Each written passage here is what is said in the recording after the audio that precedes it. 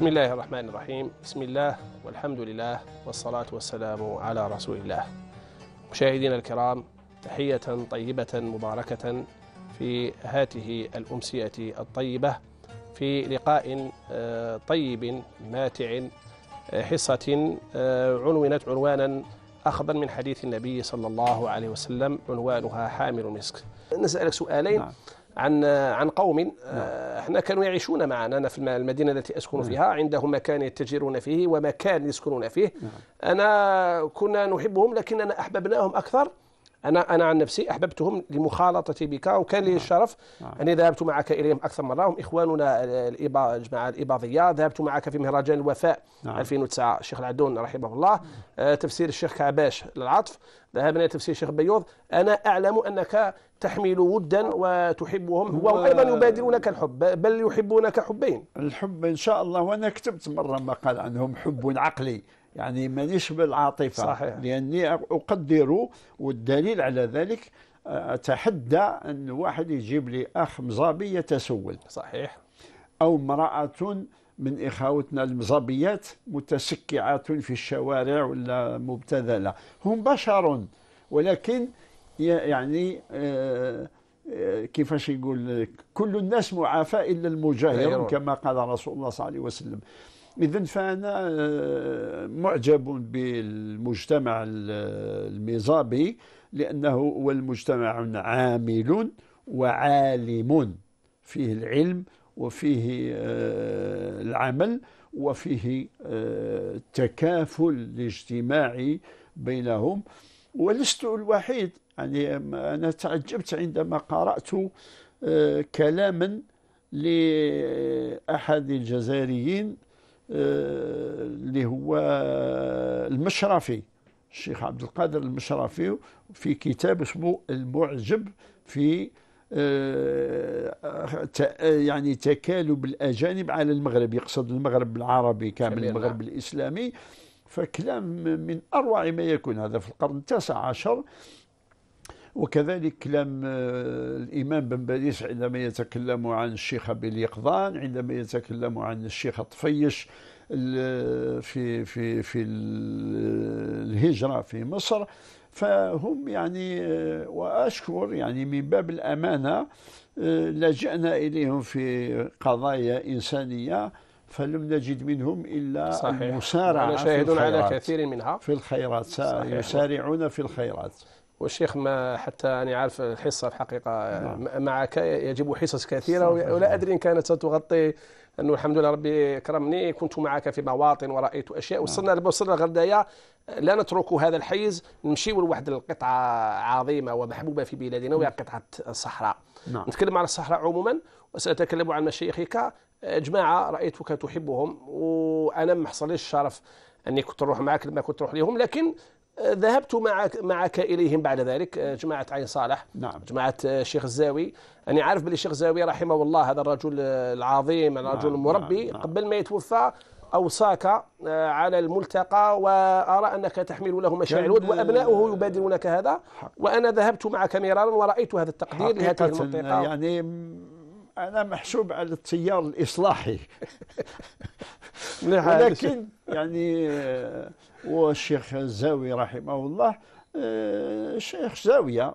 ولكن آه، والله ما دعيت وما دعاني وما دعوته لعمل فيه خير إلا لبى أو لبيت مع كثير من إخواننا الزوايا لكن أقول يعني إخواننا في عين صالح وفي المدن التي لها نفس الظروف يعني صبورون حقيقة إخواننا في واتسو في إخواننا في تامن راس الصحراء عموما. في أضرار يعني جهاد بشار. هذا زرت هذا ذاك ورأيت كيف يجاهد هذا الإنسان اللي كما يقول الشعب الجزائري يجيب الخبزة من الحجرة. فيعني قهروا. قهروا هذه الصحراء الكبيرة المملوءة. خيرات الآن عندي مقال ما شرتوش متجه في الصحراء والصحراء في الله. لأن متجه الآن راهي تتصحر خير يأتينا من الجنوب. في نعم. مناطق يعني رأيتها رأي العين وقلت هذا منذ كذا في شهر جونفي الماضي أكلنا الدلة في عين صالح. ونحن ننتظره في الصيف. فلما سألت من أين هذا؟ قالوا لي من عين قزام.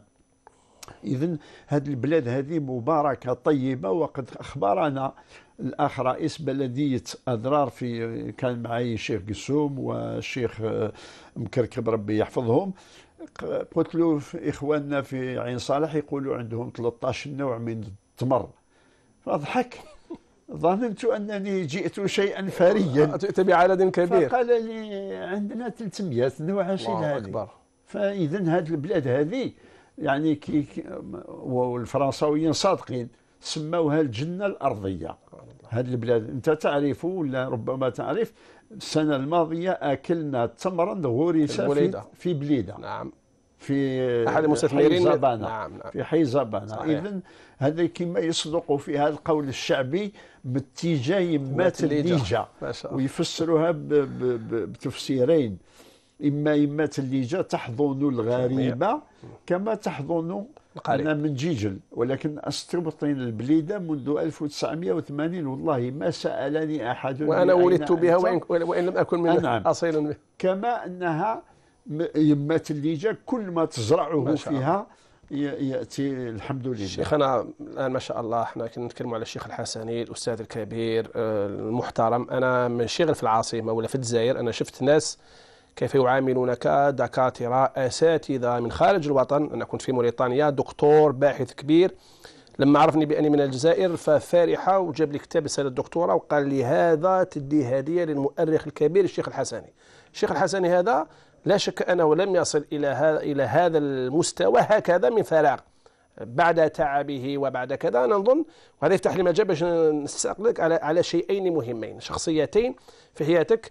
آه، مربي الروح ومربي الجسم. نتكلم على القرابة ونتكلم على آه، المشيخة. علاه نتكلم على هذا لأنه آه، ابن كلبار المؤدب آه، آمين. لما درنا كتاب التكريم تكلم قال قال أنا ما رأيت أبي بكى إلا مرتين. قال مرة لما توفي أبي آه، جده اللي هو جد جد. امين اللي هو الوالدك وأنا لحقت عليه لأني كنت صغير. ومرة واحد حب يخرجني من الصف تاع الصف تاع المسجد. وكانت عندي 13 سنة ولا 12 سنة كنت أحفظ القرآن. فنهره وقال له اتركه هذا الذي سيصلي بنا التراويح. 2006 توفي. وقال آمين أيضا آه، والمرة الثانية في 2009 لما كرمتك كرمك معهد المناهج وتكلم الشيخ بابا عمي متأدب ويتكلم مليح تكلم عن الوالدة فظرفت الدمعة مرتين قال أنا شفت بابا بكى مرتين. أنا تاع تاع وفاة أبيك لم أراها لكن رأيت أمرا مرة ثالثا زيدها الآمين بكيت فيها. وهي لما يعني لما بلغت بخبر وفاة الشيخ أبي القاسم سعد الله رحمه الله سنة 2013 يوم آه، الوسام إذا تذكر. نعم. تتكلم الشيخ إذا شئت على العناية وكيف كانت يعني العلاقة مع الوالدين الكريمين. ثم بعد ذلك نتكلموا على المشيخة أبو القاسم سعد الله نموذجا ولا شك أن مشايخ كثر أثروا فيك في حياتك اولا يعني باش يتكلم الوالد كذا أنا بضعة منهما كما قال الرسول صلى الله عليه وسلم على فاطمة بضعة مني.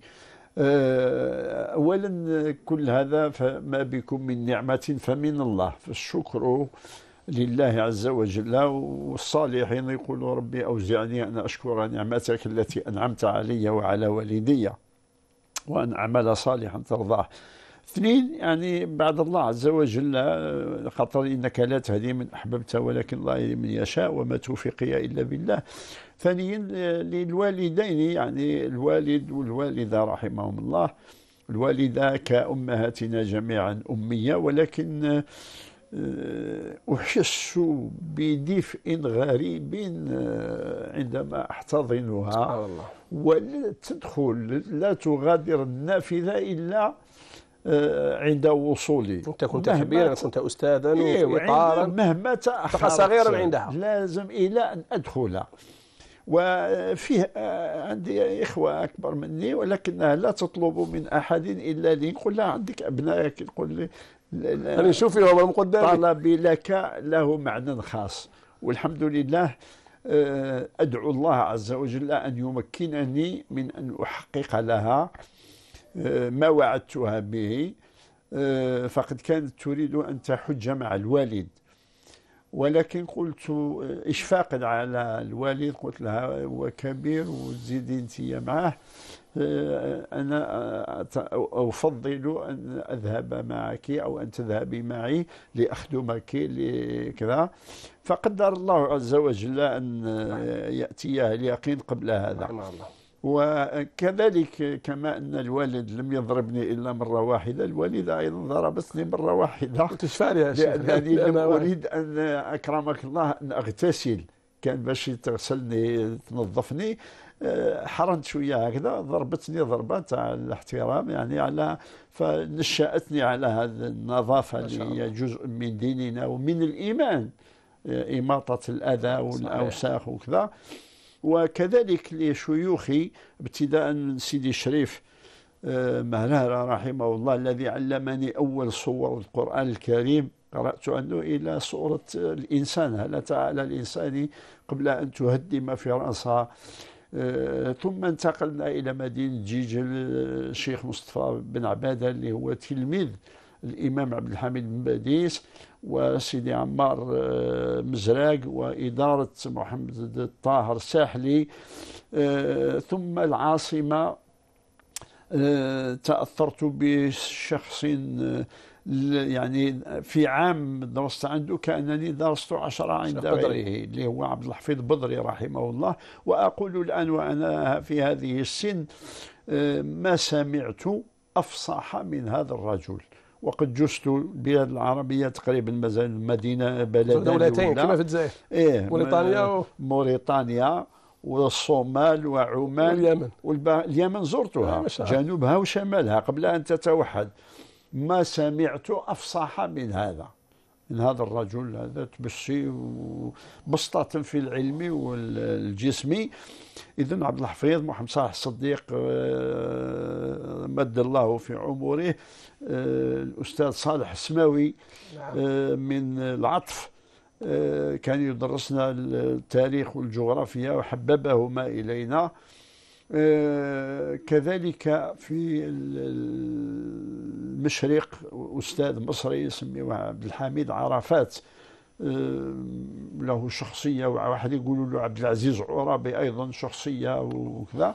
شيخ واللي قال لك واللي قال لك ستخرج أستاذ تاريخ؟ هذا عبد العزيز عرابي. هذا ناقشت أنت في مساحة الجزائر. نعم. واخطا إيه؟ أنت كانت عندك الجرأة والحكاية قلت ماشي هكا المساحه أكبر. لأنه يأخذوا يأخذوا من المصادر آه الفرنسوية. صحيح فرنسا تعتبر الجزائر قسمان الشمال تسميه الجزائر والجنوب تسميه الصحراء. فهو المعلومات اللي أخذها. قلت له هذا زوج قال لي قلت له والله العظيم الجزائر أكثر من هذا. قال لي. في العلم ما فيش والله العظيم. يا إما قلت له تسمح لي استأذنته في أن أخرج وجئته بالدليل قال لي أهو كذا. وكانت عنده في راسه شيخ وقال لك من نعم. جغرافيا قال لك ستكون أستاذ تاريخ. قلت له لأنه قال قرية السطيف قلت له السطيف أكبر من بعض العواصم في المشرق العربي وأنا جلت العراق وسوريا ولبنان والأردن وكذا. ويعني قلت كلاما ما كان ينبغي طيش الشباب. وتقبله بك بقبول حسن. أنا ما نقراش تاريخ ولا كذا قال لي ستصير أستاذ تاريخ. وكانت يعني فراسته. ثم يعني من تأثرت به حقيقة في كذا دكتور أبو القاسم سعد الله. كل أساتذة لهم فضل علي ولكن سعد الله علمني كيف أبحث كيف أتعامل مع المصادر. كيف لا ألقي عقلي لا أمنح عقلي لكل من هب ودب كان يعظمك وكان يبادلك المحبة ويراسلك يعني ممن هو الشيخ محمد صالح الصديق أيضا يحبك صلتي به نعم. إلى أن توفاه الله دكتور مشايخك كثر الشيخ يسحقهما أيضا حلقة لكن معليش نعم. لا أخلي المجال من من سؤال عن عن شخص وليس شيخك مباشرة نعم. لكن أحسب أنه شيخ مشايخك نعم. أعلاه لأنني من خلال جلوسي معك ورأيتك كيف تتكلم عنه تحبه حبا شديدا. نعم. هذا الشيخ الذي لقبت به الآن. نعم. ما كان لا نقول لك على اسمه راك عرفته. تقول لي كلامه يبرئ الاكمه قرأت يعني. الحمد لله. أنت تعرف مكتبتي وما نعم. فيها من خير. أول كتاب ملكته في 59 وإلى الآن تأتيني الكتب. آه، لكن يعني اولا لأنني كنت أريد أحسست بأن الجزائر مظلومة بأنها لا لا يجادل الناس في رجولة رجالها وفي آه، مروءة نسائها والشجاعة ولكن يقولون الجانب العلمي وهذا قالوا لي الشيخ الغزالي الله يرحمه في بيته. قلت له شيخ رأيك في الجزائر؟ قال لي في الجزائر في الجزائريين أخلاق الفاتحين وينقصهم العلم الشرعي. الآن أنا فقلت نتمنى نكون من هؤلاء آه، قبضنا قبضة من آه، أخلاق الفاتحين. أما العلم الشرعي فليس لقصور فينا ظروف مررنا بها نتيجة هذا الاستعمار البغيض الرهيب الذي لا نظير له.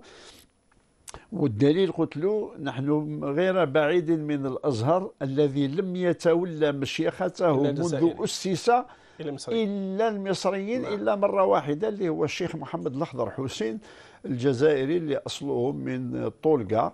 فاذا آه أجل ذلك تحب البشير الإبراهيمي حبا ولكن يعني اكتشفت في الإبراهيمي أمورا أولا الرجولة. ثانيا الفقه الواسع اللي يسمى هو فقه الفقهي والمقاصد في الإسلام. تقرأ الشيخ البشير ما يغرقش في كاس كما يغرق بعض الإخوان. وكذلك الإمام عبد الحميد بن باديس. إذا كان يعني نقول آه، كلمة شيخ قوسين اسمح لي غير إيه؟ وتفكر واش تقول إيه؟ أنا أذكر لقطة وسآتي إليه الدكتور أحمد طالب إبراهيمي. نعم. وهو يجل والده ويعظمه تقول له انت ولا سئل قال له نعم. من أكثر شخصية تاثيرا في هذا العصر؟ يقول ابن باديس. نعم. ولم يذكر والده. هو لا يعني هذا ثاني آه، آه، كيفاش يقولوا تلك العصا من العصية ولا نعم. تلك العصية من العصا على أشكالها تقع.